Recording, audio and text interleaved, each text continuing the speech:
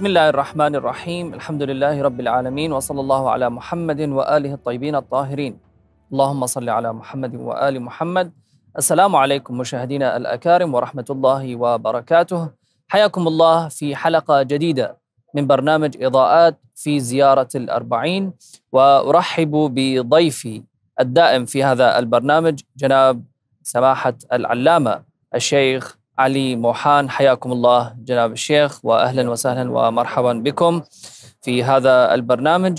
نعم أيها الأحبة لا يزال الكلام في قضية الزيارة في الحلقة السابقة أوضحنا أنها تفسر لغويا بأن يقطع شخص مسافة إلى مسافة أخرى ليلقي السلام على شخص آخر ولا يزال البيان عن كيف أن الزيارة بهذا المعنى البسيط أدت إلى هذا التجمع المليوني البشري ألا وهي زيارة أربعينية الإمام الحسين سلام الله عليه.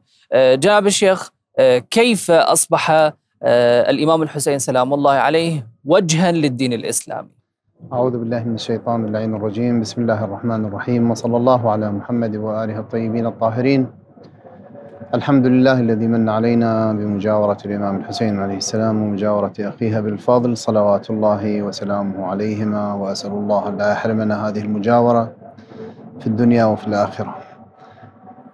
كما تفضلتم أن كلامنا في تحليل المسافة الواقعة بين المعنى اللغوي للزيارة بمعناها البسيط وهي حضور شخص عند شخص لإلقاء التحية عليه وكيف أن هذا المعنى البسيط تحول إلى هذا المعنى الضخم أو المشهد الضخم اللي هو زيارة الأربعين. فلكي نفهم أنه كيف تحولت هذه القضية من ممارسة هينة إلى يعني هذا الحدث الضخم والكبير نحن نحلل هذه المسافة ونسلط عليها بعض الإضاءات.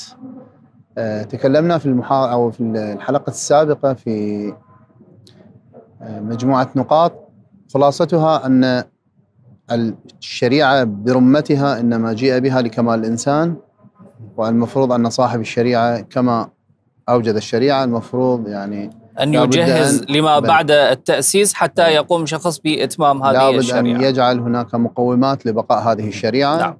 ومن مقومات هذه الش... يعني بقاء هذه الشريعة كان أمير المؤمنين عليه السلام والمفروض أنه بغياب أمير المؤمنين عندما تخلت الأمة عن أمير المؤمنين صلوات الله وسلامه عليه لا بد أيضا أن يجعل يعني مقوم كبير لبقاء هذا الدين وإلا يصبح الأمر فيه نقض للغرض كما يعبرون. عند العقلاء الإنسان إذا قام بعمل وبعد أن يبذل جهود كبيرة في هذا العمل من غير المعقول أن يأتي في نهاية المطاف وينقض ما قام به من عمل.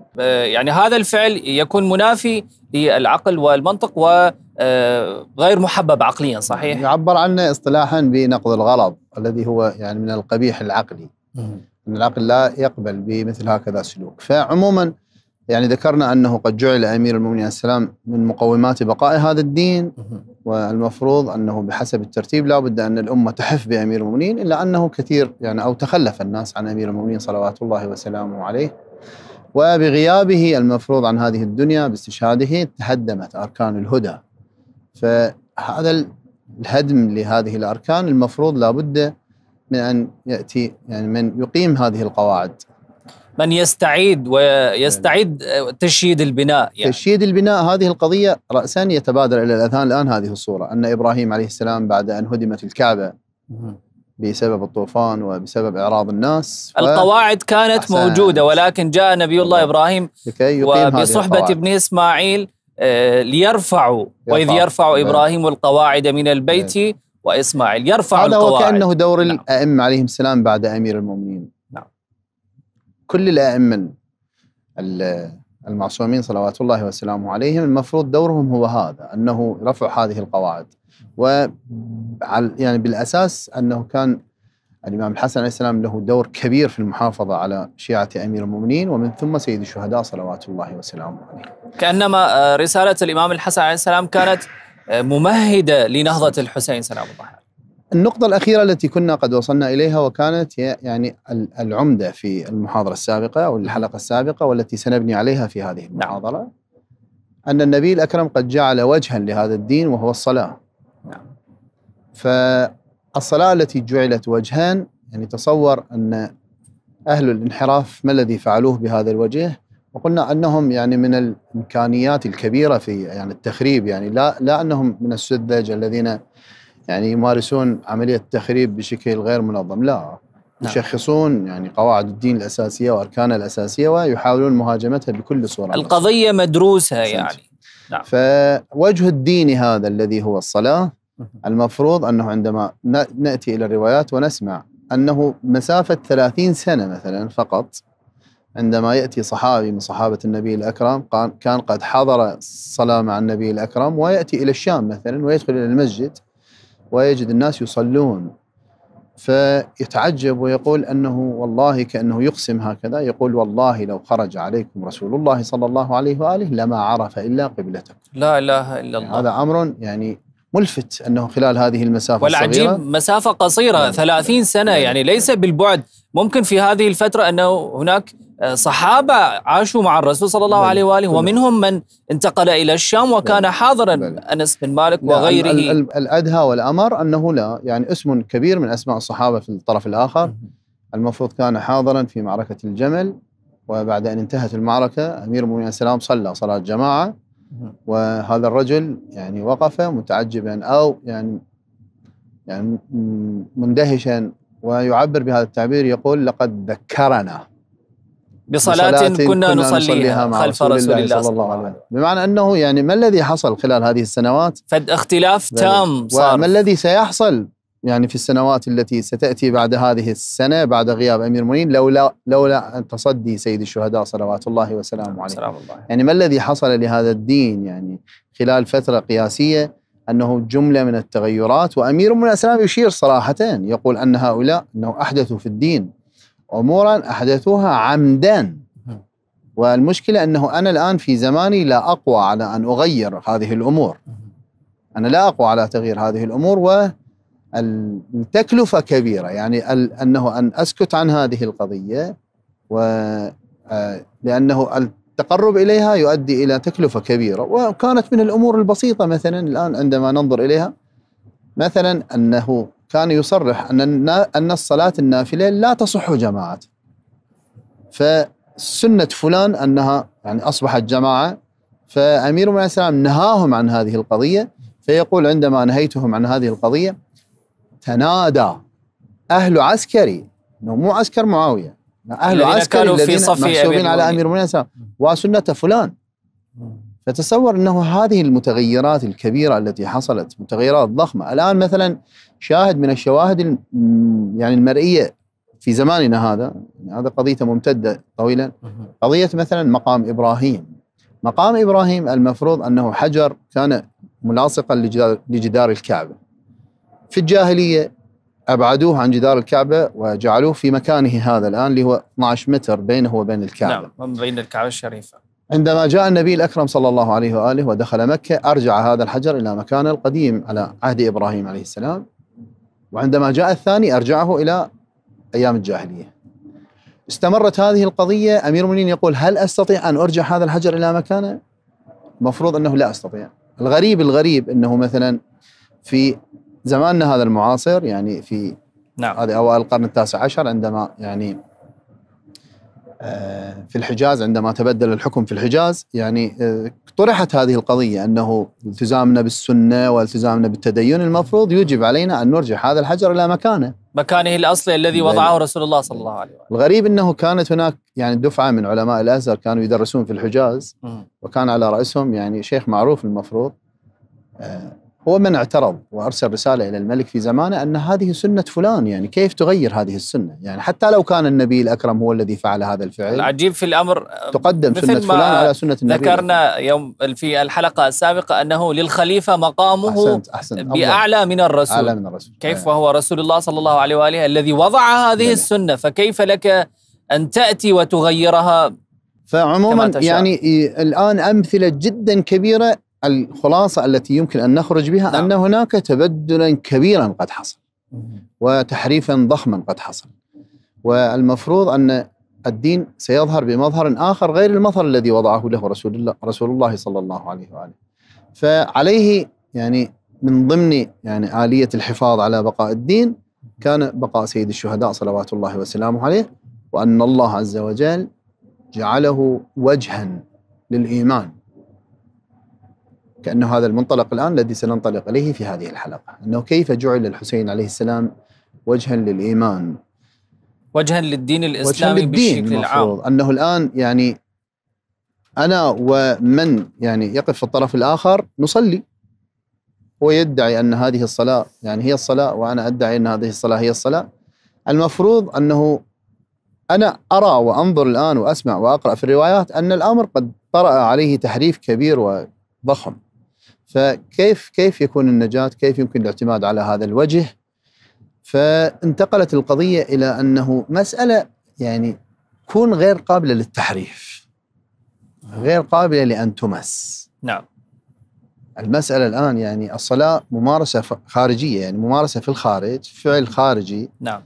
آه، يشاهد منه المسلم أنه عندما يؤدي هذه الأفعال يقال أن فلان مسلم كونه يصلي هذه الصلاة. هذا الفعل الخارجي قابل قابل للتحريف والتأويل. الآن لابد أن يكون البقاء باعتبار أن ال- ال- الظلمة كبيرة والخطر كبير. لابد أن يكون يعني هذا الوجه وجها غير قابل للتحريف. نعم. فالوجه الذي لا يقبل التحريف يعني في المنطق عندنا قضية مهمة أنه ما يعبر عنه بالبديهيات. البديهيات المفروض الكل يعرفها. ممكن في النظريات يصير نوع من المغالطات نوع من الأخطاء إلا أنه القضية البديهية المفروض غير قابلة للتبدل. باعتبارها معروفة والكل سائر عليها. سيد البديهيات هي الوجدانيات. نعم. الأمور الوجدانية. الوجدانية. نعم. فسيد الشهداء عندما ندعي الآن أنه وجه أنه وجه للدين والمفروض أنه غير قابل للتحريف الله عز وجل جعل الحسين عليه السلام في القلوب نعم. في الوجدان في وجدان المؤمنين نعم. بحيث أنه ورد في الحديث أن الله عز وجل أنه جعل للحسين عليه السلام أو لقتل الحسين عليه السلام حرارة إن لقتل الحسين حرارة في قلوب المؤمنين لا تنطفئ لا تنطفئ أو لا تبرد لا أبدا تبرد ابدا. هذه القضية ما دام صارت الآن في القلوب وفي نعم. قلوب المؤمنين الآن المؤمن الذي يريد أن يعني يجري لنفسه اختبار أنه الآن على الجادة أو لا. يعني ما هو المائز بينه وبين غير المؤمن؟ المفروض أن هذا هو المائز الأساسي الذي لا يتبدل. عندما ينظر إلى نفسه هذا الأمر ال- الوجداني المفروض هو الذي يكشف له أنه على الجادة. وهناك نكتة لطيفة في هذا الباب أنه عندما بدأنا في قضية البديهيات البديهي ممكن أن يغفل عنه. ينسى. نعم. فكل ما يحتاج إليه البديهي أنه يحتاج إلى تذكير. نعم. يعني لا يحتاج إلى برهان وأدلة لا يحتاج إلى منبهات كما يعبرون. فهذه القضية التي في القلوب أنه حراره في قلوب المؤمنين وبعد وجعل للحسين عليه السلام في قلوب المؤمنين أيضا محبة مكتومة. كل ما يحتاج الإنسان أنه ينبه. فان شاء الله إذا مررنا على قضية الوسائل الحسينية التي شرعت منها الزيارة زيارة الأربعين هي منبهات. منبهات عندما يمارس الإنسان هذا العمل يتنبه إلى هذا الأمر الذي في داخله. آه، نعم آه، جناب الشيخ الآن آه، تكلمتم عن قضية الوجدان والذكرى والقرآن الكريم خير شاهد ودليل بقوله تعالى فذكر أو آه، وذكر فذكر إن الذكرى تنفع المؤمنين. نذهب إلى فاصل قصير ونستكمل الحلقة إن شاء الله. مشاهدينا الأكارم فاصل قصير ونعود إليكم مرة أخرى.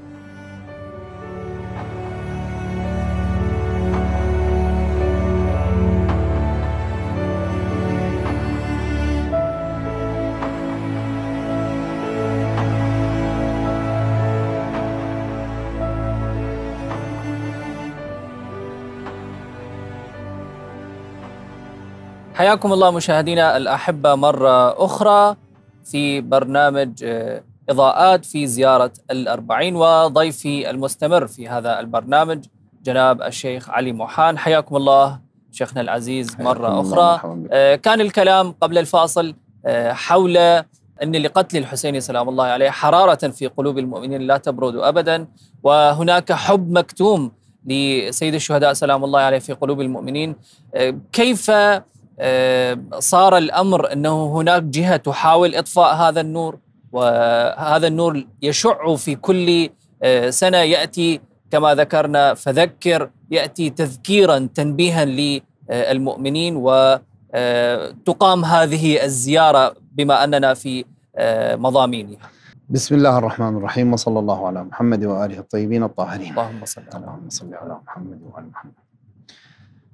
مسألة جعل الحسين عليه السلام أو جعل يعني صورة سيد الشهداء في القلوب على أن يكون وجها للتدين أو وجها للإيمان آه هذه يعني من من من كأنه من من الأمور التي الشارع كأنه التزم بها باعتبار أنه يريد أن يبقي هذا الدين. نعم.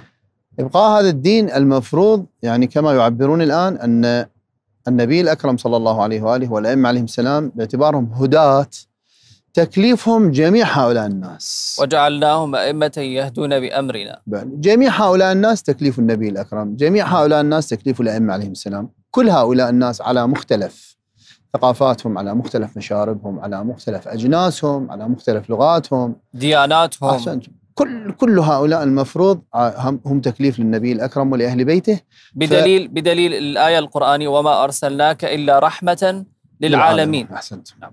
فالمفروض إنه عندما يكون التكليف لكل هؤلاء طبعا من غير المعقول الآن يعني نعم.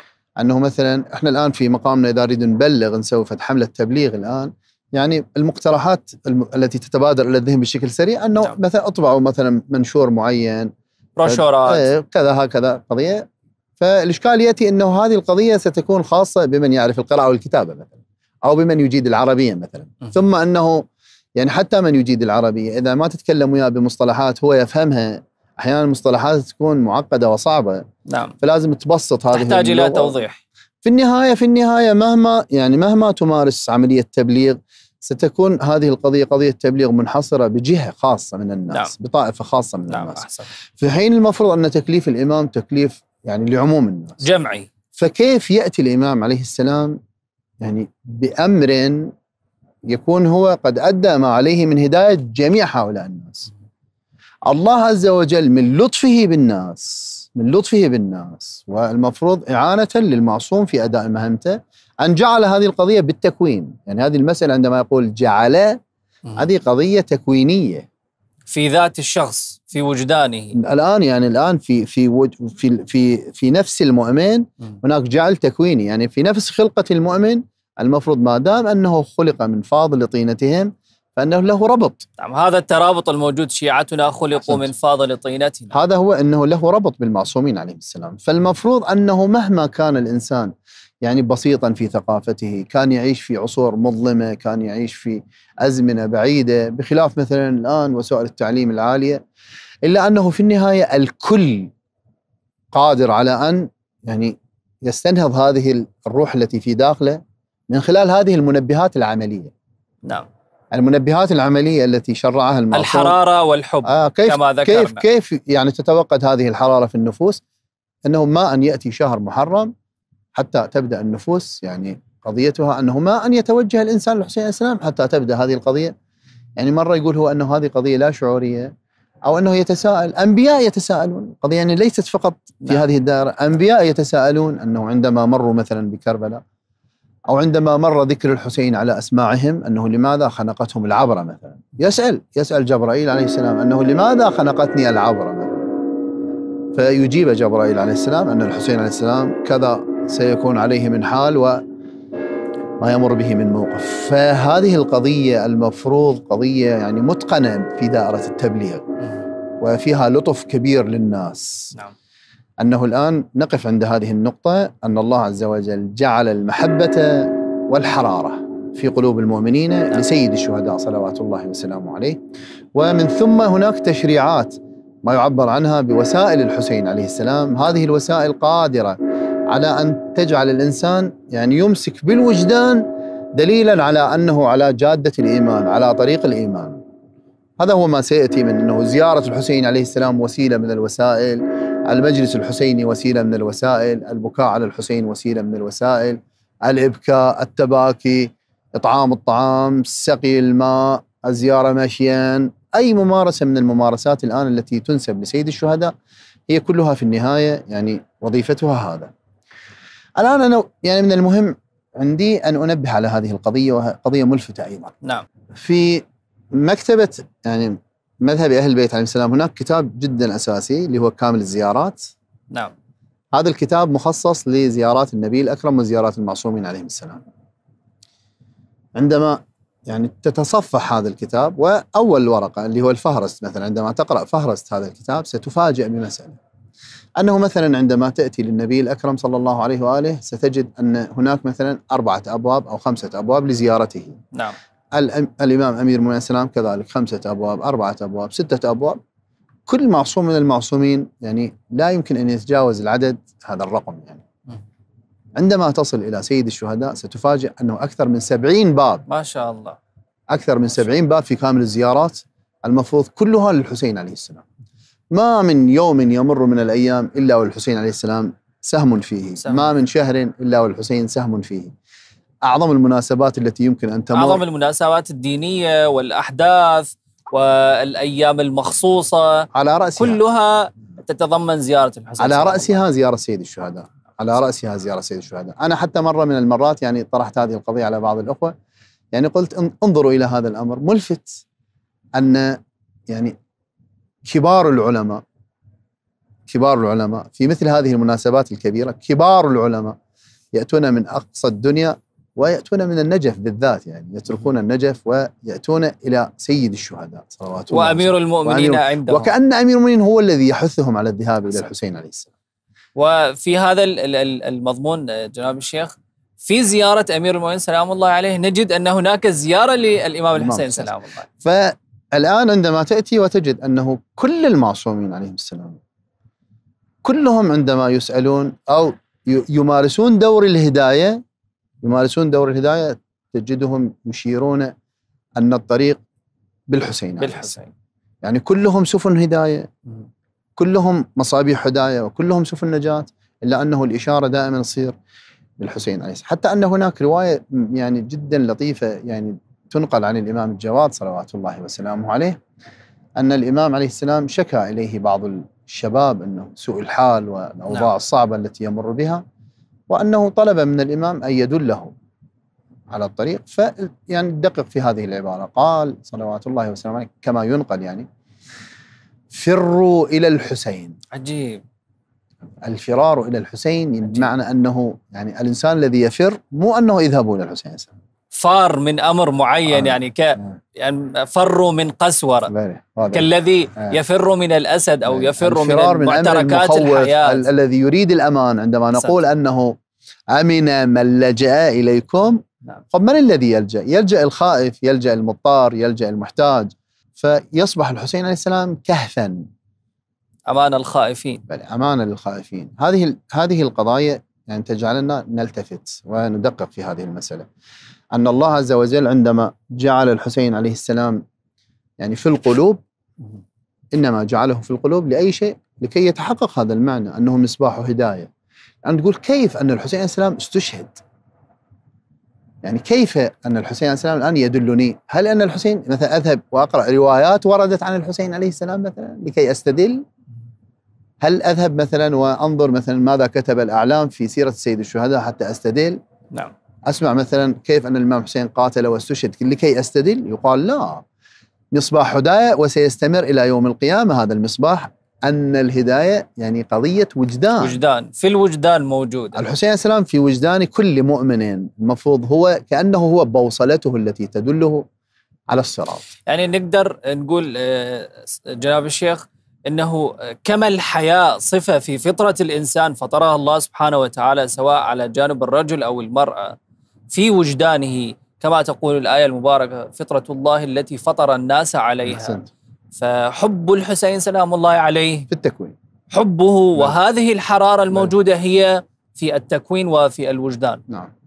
هذه قضية جدا أساسية ومهمة. لذلك الآن عندنا مثلا من المستحبات أنه آه، أن الطفل الصغير عندما يعني من آداب الولادة أن يحنك بتربة سيد الشهداء صلوات الله نعم. وسلامه بحيث يرتبط كون بالحسين عليه السلام بهذا ال- بهذه الممارسة. على العموم ف يعني الفائدة التي نخرج بها يعني من خلال هذه المفردات التي ذكرناها نعم. أن الحسين عليه السلام جعل وجها للإيمان باعتبار أن وجه الدين الذي جعل يعني تم إطفاؤه تم يعني الدخول عليه والإساءة إليه بصور شتى فالله عز وجل المفروض بدل أنه تكون هذه الممارسة وهذه الممارسة يعني العملية كالصلاة قابلة لأن يعني تحرف وأن يدخل عليها ما ليس فيها المفروض تحولت القضية من قضية فعل مظهر للصورة إلى أن تكون القضية في وجدان كل شخص. نعم. المفروض أن في وجدان كل شخص الآن علامة للإيمان أو علامة للإيمان.